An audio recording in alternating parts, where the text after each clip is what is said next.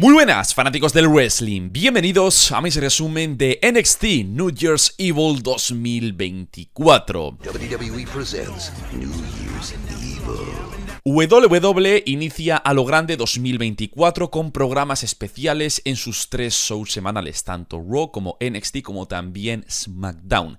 Ayer se anunciaron dos combates titulares como también la final del Men's Breakout Tournament, aunque desgraciadamente uno de los combates titulares no se dio y el combate estelar fue reemplazado por otro luchador.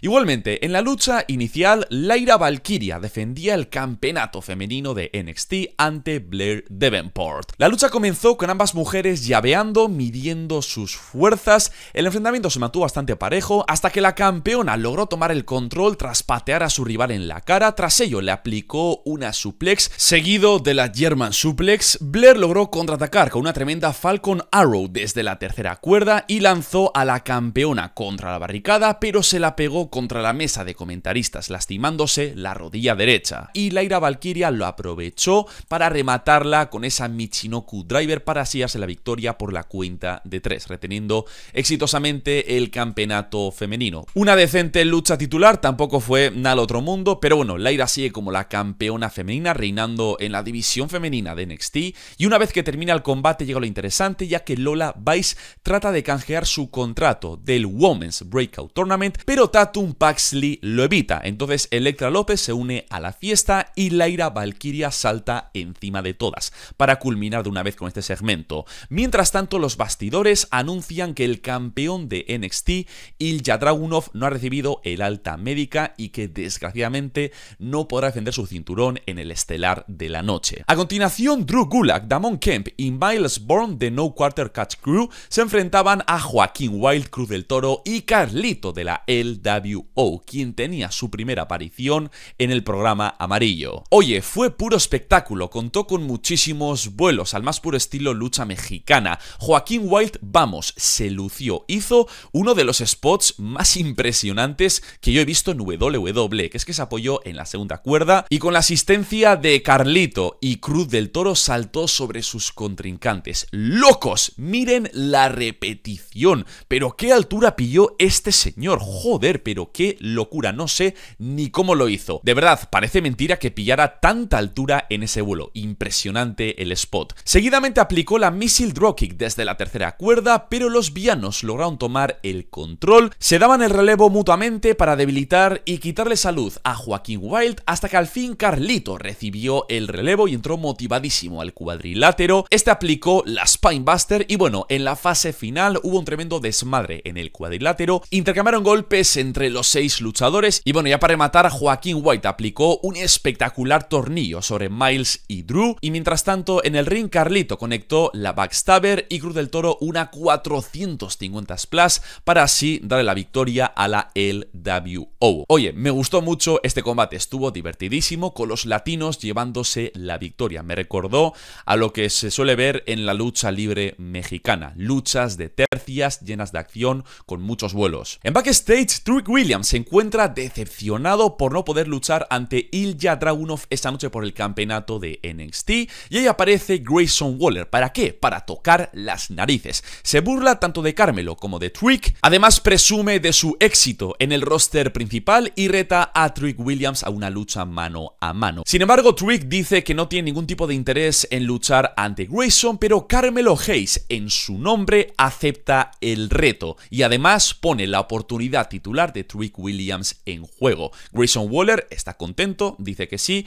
y Trick obviamente se enfada con su compa ya que él no quería luchar ante Grayson. A continuación, Ariana Grace se enfrentó a Roxanne Pérez mano a mano en un combate bastante breve que no duró mucho tiempo y que quedó a segundo plano, ya que lo importante no fue la lucha en sí, sino lo que vino después. Roxanne Pérez dio la victoria tras aplicar la Pop Rocks y justo seguido Ariana Grace empezó a burlarse de ella, así que Roxanne la atacó sin ningún tipo de piedad, los árbitros la separaron y la anunciadora dijo que el resultado se por decisión del árbitro y declaraban a Ariana Grace ganadora del combate. Una completa estupidez. Entiendo que quieren trabajar el cambio a rudo de Roxanne Pérez, pero vamos, no tuvo ningún puto sentido que le dan la victoria a Ariana Grace por lo visto una vez que terminó el combate. Vamos, bajo esa misma lógica, muchos combates en WWE deberían haberse cambiado por ver simplemente un ataque entre las participantes una vez terminada la lucha. Estoy haciendo memoria, pero vamos, que yo recuerde, nunca he visto algo del estilo, que de repente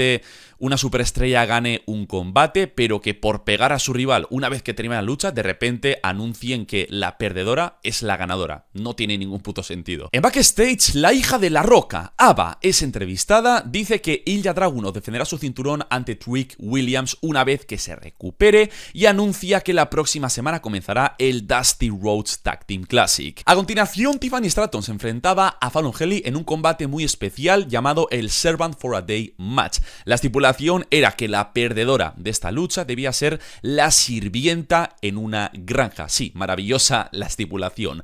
Ambas mujeres se tenían muchísimas ganas, especialmente Fallon Henley, y se dieron con todo nada más sonar la campana. Se sentía la tensión y la rabia entre estas dos rubias, se dieron tanto dentro como fuera del cuadrilátero. Fallon lanzó a su rival contra la barricada, luego le aplicó una Crucifix Bomb a su rival, Tiffany contraatacó con una Spinebuster, sin embargo Fallon la sacó fuera del cuadrilátero, Tiffany se desesperó y tomó la silla de acero, pero el árbitro evitó el golpe y al final Fallon Henley con una Shiny Wizard se la victoria por la cuenta de tres. Así que será interesante ver a Tiffany Stratton siendo la sirvienta de Fallon Henley en su granja. Que vamos, seguramente será su mayor pesadilla, ya que bien sabéis cómo es su personaje. Una mujer ególatra que cuida mucho su imagen, que le gusta estar impoluta, todo perfecto, y ahora será la sirvienta en una granja. En los bastidores, Baron Corbin trata de convencer a Braun Breaker para unir fuerzas en el Dusty Rhodes Tag Team Classic. Braun le dice que debe estar desesperado si viene a buscarlo con esa propuesta, y Baron Corbin le dice que deje el ego de lado y que utilice un poco su cerebro, ya que ambos hombres pueden romperla en la división en parejas. Entonces Braun Breaker poco a poco lo va comprando y al final acepta la propuesta de Baron Corbin.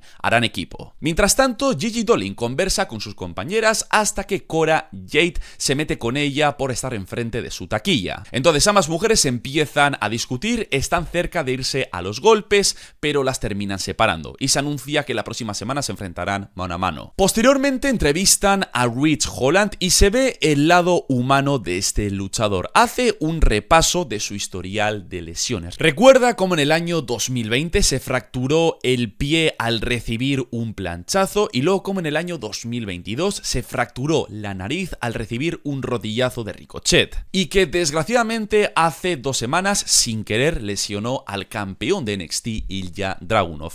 Rich dice que es un padre de familia, que es un esposo, que es una persona como cualquiera otra y que no es un monstruo. Que él no es alguien que daña y es dañado, sino simplemente una persona que quiere redimirse. Fue interesante ver ese lado humano por parte de Rich Holland, ayuda a que el público empatice más con su personaje, pero oye, me parece una lástima que los Brawling Brutes se desintegren, ya que ahora mismo Rich Holland pertenece a NXT y Butch está por su cuenta en SmackDown. En la final del Breakout Tournament masculino, Riley Osborne se enfrentaba a Oba Femi. Vaya dos luchadores. Por un lado, el nigeriano que tiene una fuerza espectacular y un físico que impone un montonazo. Y por otra parte, Riley Osborne, un luchador muy dinámico que dio la talla en la final. En momentos estuvo cerca de llevarse la victoria, pero el nigeriano resistía a todo y pega golpes durísimos. Destaca sobre todo el chop que le metió a su rival, que sonó de aquí al Sáhara, locos.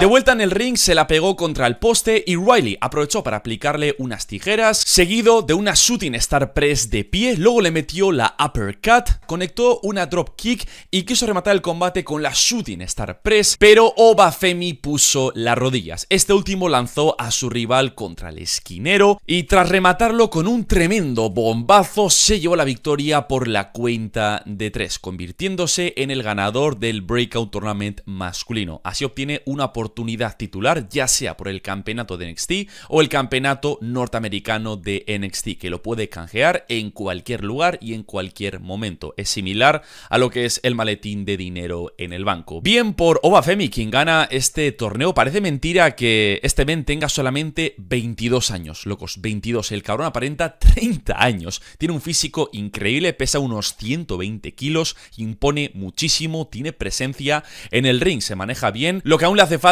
es desarrollo en la marca amarilla y que pula su micrófono. Veremos a ver cómo le va en el futuro. Antes de continuar, os quiero recordar que si queréis comprar productos oficiales de WWE como camisetas, gorras, campeonatos, figuras de acción y demás, tenéis mi enlace de afiliados en la descripción del vídeo. Si algún día os apetece comprar algo y lo hacéis a través de mi link, me apoyáis muchísimo. Trick Williams está bastante rayado con su compa Carmelo Hayes por poner en juego su oportunidad titular por el campeonato de NXT. Sin embargo, Carmelo dice que confía en él y que lo acompañará en la lucha, pero Trick le hace saber que él puede vencer a Grayson por su cuenta y le indica que por favor no esté en su esquina, a lo que Carmelo lo acepta. Mientras tanto, Tatum Paxley se encuentra con la campeona femenina de NXT, Laira Valkyria, quien se aterroriza al ver a esta última, y bueno, Paxley insinúa que está en busca de su cinturón. Mientras tanto, D'Angelo Family anuncian que se enfrentarán a OTM la próxima semana y que defenderán los campeonatos en pareja de NXT. Entonces van a su vehículo y de repente se encuentran con Joy Gacy que estaba en el maletero. Este último dice que necesitaba un lugar tranquilo donde pensar y que además previamente una persona estaba ahí y lo tiró por un puente. Este men está loquísimo.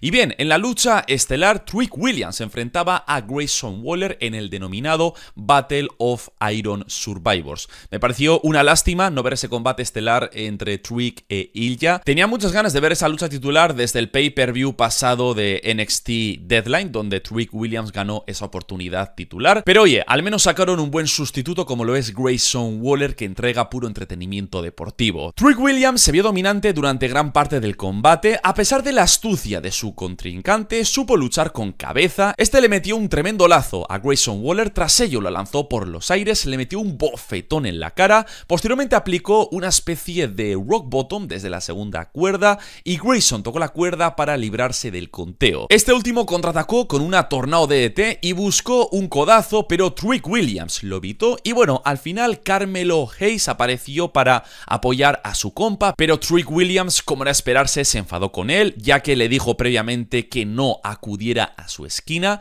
Entonces Grayson Waller iba por una silla, pero Kevin Owens, ex campeón de NXT, le metió un puñetazo en la cara, ya que no nos olvidemos que anteriormente Shawn Michaels había anunciado que un ex campeón de NXT iba a aparecer en este programa. Así que bueno, al final, Trick Williams remata a su rival con la running knee y se la victoria por la cuenta de tres. Así que sigue siendo el retador número uno por el campeonato de NXT de Ilya Dragunov. A pesar de las circunstancias, me parece que entregaron un combate estelar entretenido. Grayson Waller es un luchador divertidísimo y Trick Williams sigue sumamente over con la fanaticada. Oye, me flipa muchísimo cuando el público corea su tema de entrada.